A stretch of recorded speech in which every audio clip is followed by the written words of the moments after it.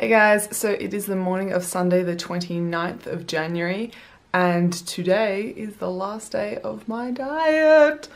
Thank God! oh, it's been a very um, rewarding um, and successful and I'm proud of my hard work over the last seven months but it's gotten to the point where uh, my diet needs to end. I've pretty much gotten to the point that I want to get to and it's time to start to grow. So I'm gonna film a little physique update for you guys now, what I kind of physically look like. I try not to take myself myself too seriously. I'm not like bikini competitor or anything like that. I don't know what the hell I'm doing. But anyway, and then tomorrow morning is when I have my body composition scan. So I'm getting a DEXA scan. Some of you may have seen the video that I uploaded in late November. Uh, you can go and back and check out that one if you want. I'll put all of the details in the description box below of kind of like a halfway point uh, of my calorie deficit.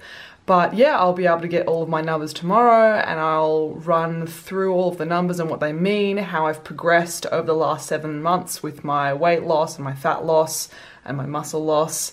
Um, though that's not progression. Uh, and then I'm going to give all the details of where I'm currently at with my calories and macros and where the next step is from here. How I'm going to start progressing towards maintenance and then into a surplus and how I intend on minimizing fat gain um, and trying to utilize uh, the current condition of my body to put on as much muscle as possible. So a little physique update and then we'll get cracking with all of the data tomorrow.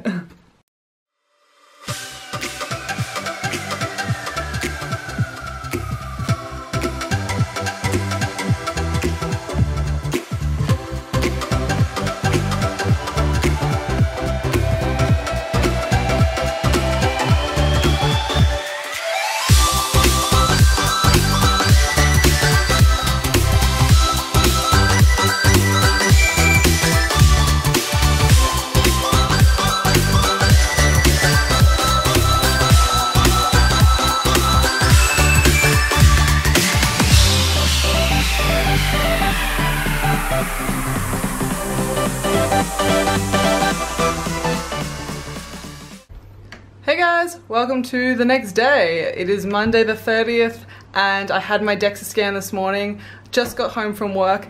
I think I'm wearing the same shirt um, that I wore in the last body composition video. So if you do happen to go back and refer to that one, I'm sorry if I'm wearing the same shirt. I do own other shirts, but clearly I just decided to wear the same one on those two days. Also, I prefer to spend my money on activewear rather than work shirts. I digress. Okay, so I had the DEXA this morning. Um, I didn't show like what it looked like or anything because I did that in the last video and I just wanted to spend today kind of like processing the results within my mind and everything. Uh, so before I run through them all, I'm actually just going to show you guys what's kind of happened over the last seven months in terms of how my body weight has tracked um, with it, decreasing and how my calories have also tracked and generally how um, what my approach to this calorie deficit was and this dieting phase was. Um, now I am going to give specific numbers. I'm going to give specific numbers in terms of my body weight. I'm going to be talking in kilos. I'm sorry. Normally I try to give kilos and pounds, but Americans, you're going to have to deal. If you hear a number in kilos, multiply it by 2.2. That's what it is in pounds. I'm sorry. There's just going to be too many numbers otherwise. Um, I am going to be giving specific numbers to do with my body weight and also my calorie intake. I want to stress that I'm just giving these numbers as like a reference point so you can kind of see what they look like in comparison to each other. But they are relevant to me only. I can guarantee if you are watching this video, you have a different height, a different body weight, um, you're a different age, you have different activity levels, you do different workouts um, you have different genetics. You are different to me. Therefore, your calories will be different to me and my calories will not work for you. So I want you guys just to keep that in mind when I present these results, um, that just because I ate a certain way doesn't mean that you should. But I know that you're all educated and smart enough to know that. Yeah, all right. So I'm going to put up a graph now of how my body weight and how my calories have tracked over the last seven months. There are a lot of data points. Um, don't freak out, I will run you guys through it all. Okay, so here we go. So red dots are calories, and that is on this axis over here. Blue dots are my weight in kilos, which is on this axis over here. So we start seven months ago at the end of June 2016. So prior to starting this cut, I was in a very, very conservative calorie surplus. I was eating uh, on average 2,600 calories a day. And so when I started my cut, I was eating just above an average of 2,000 calories a day. Um, my macros were split um, into two high days and five low days in terms of my carbs. I can put that on the screen, hopefully, we shall see. So this is where I started my cut. I started quite high, guys, over 2,000 calories a day, reducing from 2,600 to 2,000. My body weight started up here above 75 kilos. So I've already done a massive drop in calories, and that has stayed the same over the first like eight weeks because my body weight just responded. It goes down, it goes down, it goes down. So there was no need for me to change my calories in those first few weeks because down, down, down my body weight goes. Then here we start to see it plateau. And only once my weight loss has plateaued have I dropped the calories down further. And that's gone down to about 1,900 calories now. And then again, I'm still not really seeing the weight shift. It kind of was tracking down, but it wasn't moving at the kind of desired rate. And the desired rate for me was uh, probably about 0.3 to 0.4 kilos per week um, that I was looking to lose weight. And it wasn't tracking at that. So we had another decrease. And that's when my body weight really kind of started to respond. The this kind of accumulated and it, in hindsight this was probably too fast. These decreases here, I should have waited longer um, and held off. From this point, my body, yeah, off comes the weight. As you can see there, it tracks down. And there was no need for me to change my calories during that time because my weight again was tracking down. Um, so at this point, we're at about 15 weeks or so once we're here. Um, and I probably should have had a diet break earlier, but at this point, I actually went on a holiday. I went to America and I've got my travel vlogs uh, early in my channel. And I wanted to kind of look lean because we're going to be at the beach. Um, so after just after that holiday, I took a diet break. And perhaps that should have been a little bit earlier, perhaps that should have been more around the kind of eight week mark, but I took it about the 15 week mark. And a diet break is a really good way just to kind of give really give your body a break from dieting, um, reset your hormone levels, uh, give yourself some kind of physical and mental relief. So while I'd been on uh, probably about 1,630 or so a day, I jumped back up to about 1,870 for a couple of weeks just to give my body a break. I actually, while I was overseas, I actually lost weight uh, just because I was walking so much. Um, so when I came back, my weight kind of jumped up a little bit again, um, just as I got back into normal activity levels, and then it began to normalize. So after this diet break up here, again, red dots are calories, blue dots are weight, um, I jumped straight back down to the calories that I was on. Until about this point here, where I felt like I wasn't seeing, again, the results kind of as quickly as I wanted. And I was quite aware at this point that I had a deadline in mind just two months away. And I was like, because I have a deadline in two months, I'm happy to take another calorie decrease. Um, and that's probably the last one they'll have to do. And it was. This last jump was the last calorie decrease that I had. So had a decrease there, and again, my weight begins to respond, decreasing, decreasing, decreasing. This one, again, this was actually over Christmas. I lost weight over Christmas, guys, like much faster than usual, because again, I was just out and walking and being active. Um, so once I came back into my normal routine and normal job, my weight kind of came back up again and normalized, um, but then continued to track down.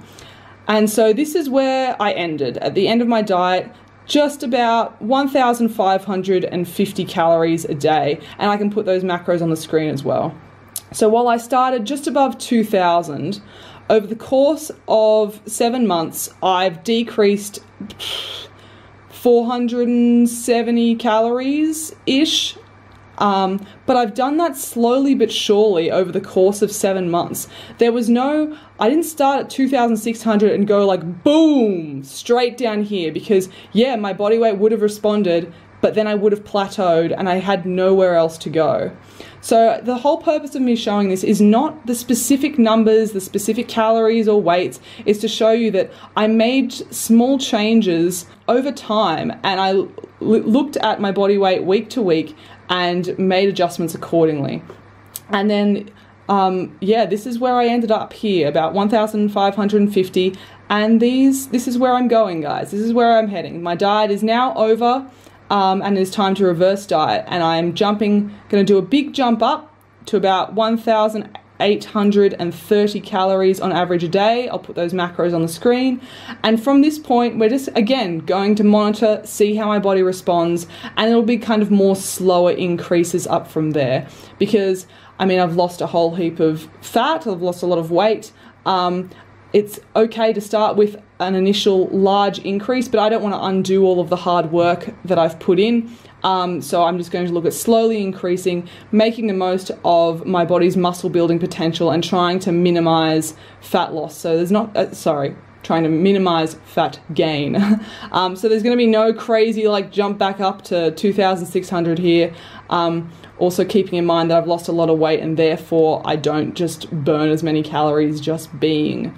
So, hopefully, this was useful in some way just to kind of see over time how it's all gone. Hopefully, there wasn't too many numbers and you didn't all freak out. I'm aware that not many people, that, yeah, not many people like numbers as much as I do, but hopefully, this was useful in some way. All right, let's get into the data. Let's stop messing around.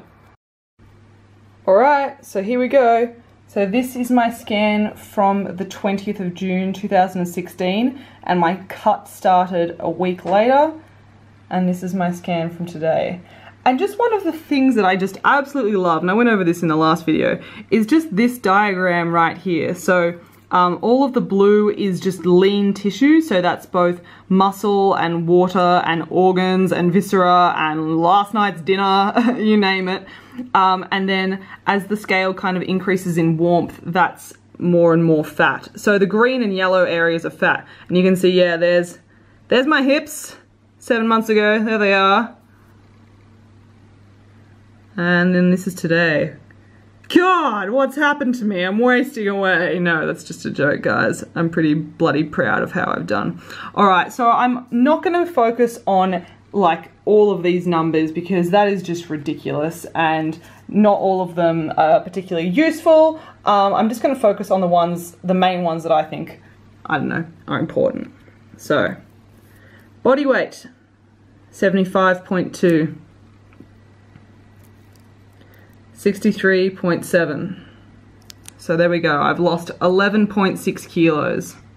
Next one I'm going to look at, I have to go down to the bottom here. We have uh, all of the body composition broken up into different uh, body areas, uh, a number of grams of fat, lean, and bone, keeping in mind that lean is not just muscle, it is also water and viscera and organs and everything. But in general, hopefully your water stays about the same, but it's the one most likely to fluctuate. Um, and your organs should stay the same. So any changes in lean are mostly attributable to muscle. So let's have a look at fat. This is again back in June. That's in grams. So 20.3 kilos of fat I started with. And then today, 11 kilos. So I've lost 9.3 kilos of fat. Holy God, that's a lot. All right, sorry, next. I'm just like, still just like looking at these numbers is, is crazy to me. All right, next up, lean, back in June, 51.9 kilos. Today, 50, oh, 50, 49.7. So yeah, I've lost 2.2 kilos of what is possibly muscle according to these body composition scans. And honestly, that is expected. I'm in a calorie deficit. Uh, obviously, you are trying to lose as much fat as possible, but the point is you are not providing your body with enough energy. It is going to take energy from where it can, and often that is not always going to be your fat stores. It's just the same as when you go into a calorie surplus. You're aiming to put down as much muscle as possible, but there is still excess energy. There's going to be some fat gain. So honestly, what is it?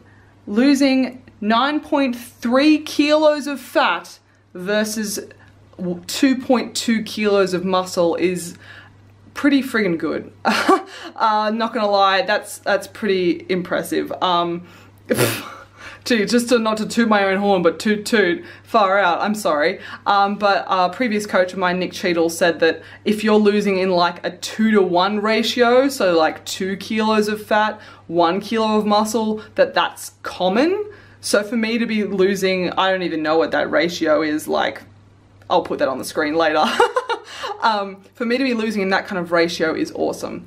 Okay, let's do it. The final number, the final percentage. Um, some of you might remember what I said that I hoped for. Um, so let's show you. Okay. 27%. 27% body fat is what I started at with those hips. 17.3.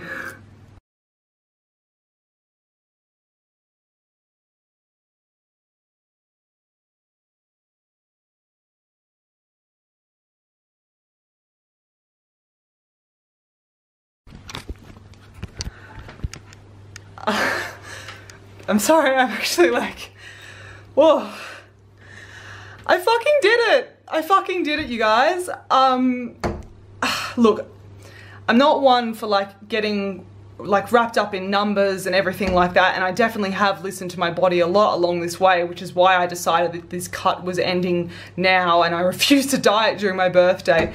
But I honestly didn't think I would get there. I, I said 17% because I thought that it sounded really impressive being able to lose 10% body fat and I thought that 17% for me would put me at a good point to have some leeway for putting on fat or building muscle and I said that number but I didn't know if I could get there. I didn't think I was there when I walked in today. I thought that maybe I was 18 and um, again not wanting to get too wrapped up in the numbers but when you fucking work your ass off, and I've worked my ass off the last seven months, week in, week out, I've hit my macros, I've been compliant. Okay, yeah, I've fucked up a few times, I've had a few binges, okay, I'm human, so sue me. But uh, that consistency over that amount of time has contributed to me getting this result and getting this result that I wanted. And I'm so fucking proud of myself, to be honest. Um, and I think I think I'm allowed to say that. I don't think I don't think that's boasting or bragging because like I did it and it's kind of like a bit a bit emotional for me just like thinking about how far I've come. 18 months ago, 18 months ago, 18 months ago I had an eating disorder and and now I've managed to lose weight again, which is what I so desired back then. Back then I I, I, just I wanted to be less and I was restricting my intake and then I was binging and I was purging and I just wanted to be less and less and this time I had a goal in mind and I wanted to lose fat but then to make my body more efficient so that I'm then able to build muscle. And the fact that I was able to do that without any kind of like major relapse while having a healthy mindset, while having an end date, I just I've changed a lot in the last 18 months and the fact that I achieved what I set out to achieve I'm so happy about. So now my goal is muscle building and I don't have like an end date on that. or like an end body fat percentage. I know that I'm going on a holiday in August and I plan on bulking until then.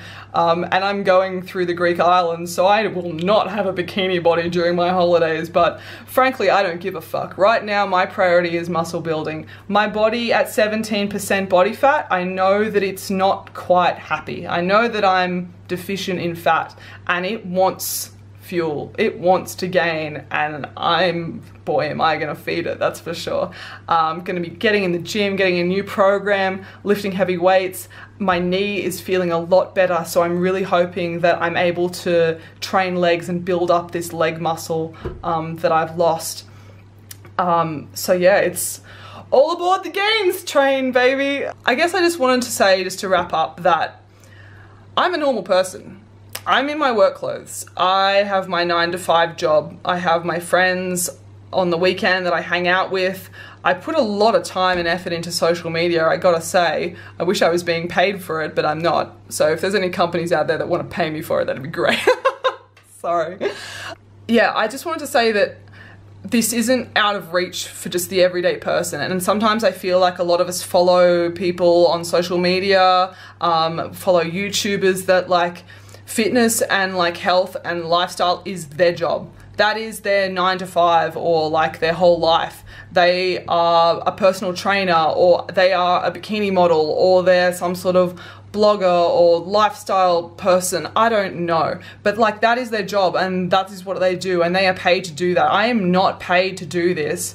I am paid to work for the government and do something completely separate to any of this. So my point is that I set a goal and I set a time limit and I had a plan and I had a sustainable plan and I put that in place.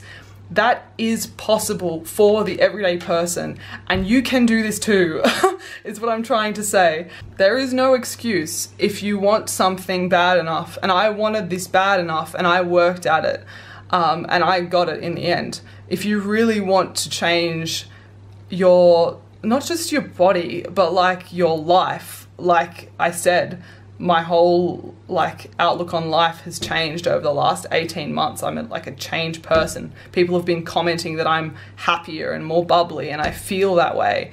Um, and a lot of this has been brought about by my control over my food and over my exercise and it's just improved my life so much and that is possible for all of you if you really want it. So if you want it, put a plan in place, make it sustainable, and get out there and fucking get it, guys. As much as I would love to end on that note, I should say thank you so much for watching this video. Thank you so much for supporting me, for subscribing, for commenting on Snapchat, on Instagram, on my videos here. I appreciate it so, so much. Um, if you have any further questions, if this video raised anything that might be of interest that you would like me to cover in the future, please leave a comment below. I love to hear feedback from you guys on how I can continue to give back to you. So please subscribe if you're not already and I will see you guys in the next video. See ya.